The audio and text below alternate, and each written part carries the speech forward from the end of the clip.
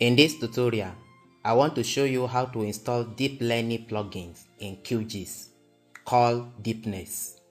So open your QGIS and come to plugins. Then click on manage and install plugins. Under all, search for Deepness.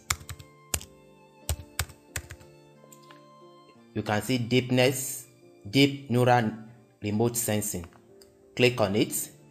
Deepness Plugins is a plugin that allows you to easily perform segmentation, detection, and regression on raster orthophotos with a custom ONNX neural network models. So it is very important that you go for more information by clicking on the home page. So this will take you to the home page of the plugin. So here under home, you can see documentations about the plugin and even video. Then if you click on installations, it will show you the installation requirements here.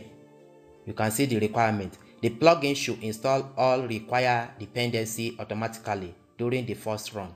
However, if you want to install them manually, you can use the following command.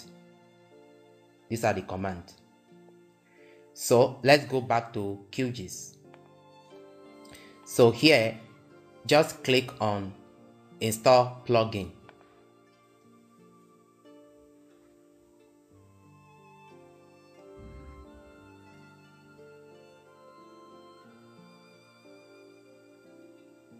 So you can see plugin installed successfully.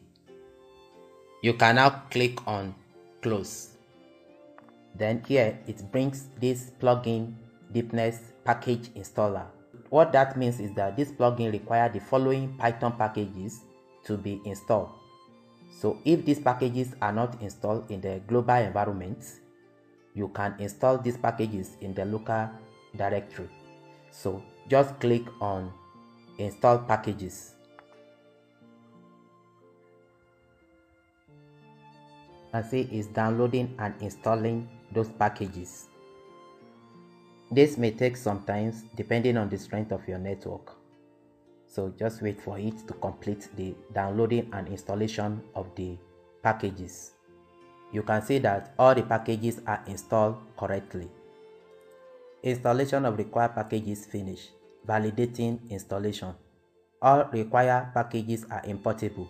You can close this window now. So let's close it. You will need to restart QGIS. So let's restart it. So we are restarting the QGIS. So after restarting the QGIS, let's just open empty projects. You can see the symbol of deepness here. Double click it to see. When you double click it, you can see the interface here you can see it so in the subsequent tutorial I'll be showing you how to use this deepness plugin for deep learning for segmentation and so forth. Thank you for watching